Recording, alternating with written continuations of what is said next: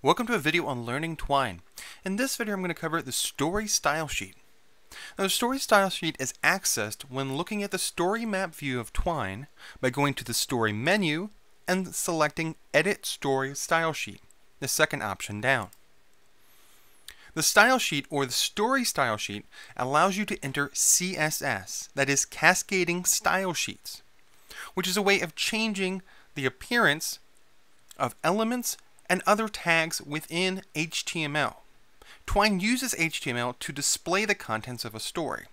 The, the CSS allows you to change the appearance of those elements and context and contents of items within a story. In these three examples here, I show the different ways to change the passage element within each story. I have Harlowe, Sugar Cube, and Snowman. Each, if you can tell, if you understand CSS, each approaches showing a passage in a different way, which is something to note here. Each story format uses different CSS rules to change its layout and the appearance of elements within its own story format. Each one has its own rules, and often those rules contradict or collide with other story formats because each of them approaches it in its own way.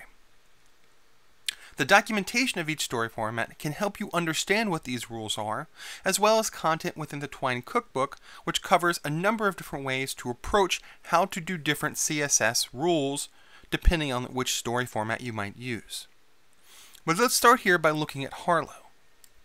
Harlowe, Harlowe uses a named element tw-passage for the content of a passage within a story.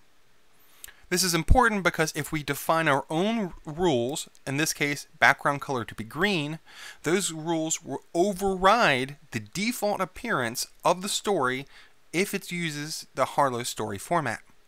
We can see those changes if I close this and play the story. We now see the passage color is green, and only that. In this case, the entire content of the passage, just this link, is green.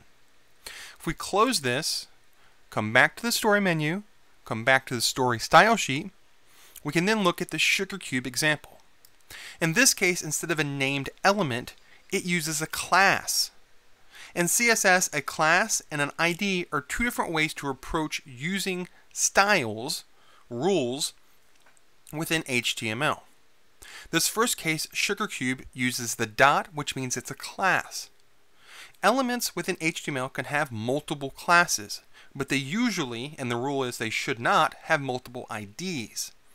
So in this case, SugarCube approaches it by having multiple classes, that is, multiple sets of rules can be used for any one passage. Any one element, in this case, a single passage. So SugarCube uses passage, dot passage, to change any, any of the default appearance rules within a passage in Twine.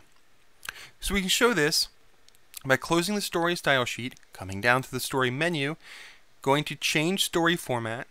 In this case, we're jumping directly to Sugar Cube, closing this, replaying the story, and we now see the same thing we saw in Harlowe.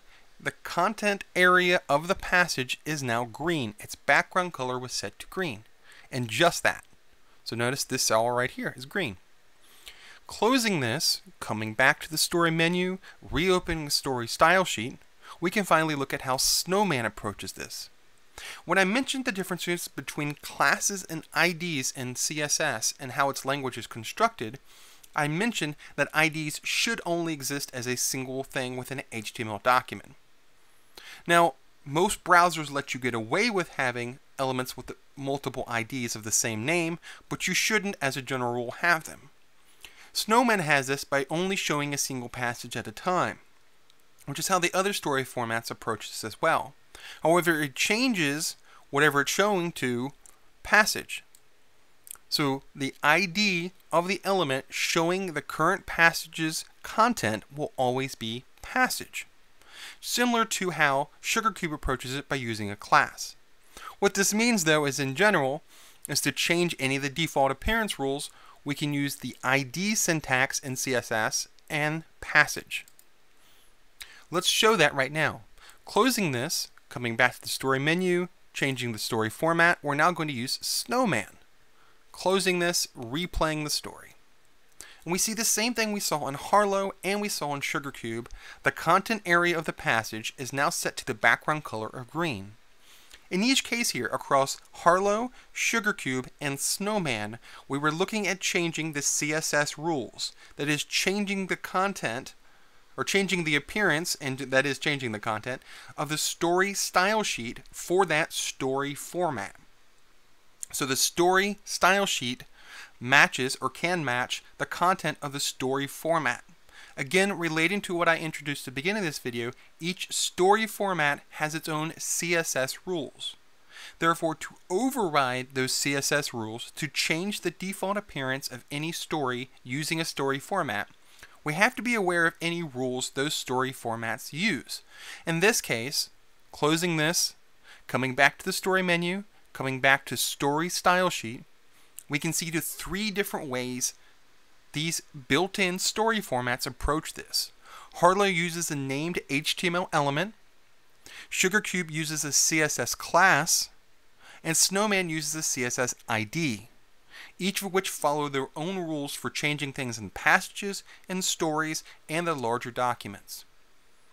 Again, as I noticed, as I noted, understanding these rules can help you with changing the default appearance of your story when using any of these three built-in story formats. The rules for how to cover this are usually covered in the documentation, especially with Sugar Cube and with Snowman, or noted in the Twine Cookbook, which covers all three and describes their different elements, the different ways it approaches this, either classes or IDs, and some hints about changing different things. This has been a review of the Story Style Sheet noting that the story style sheet and changing any default appearances of elements or content in a story is related back to the story format.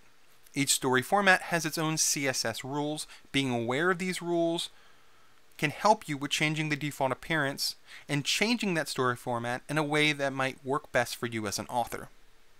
Thanks for watching.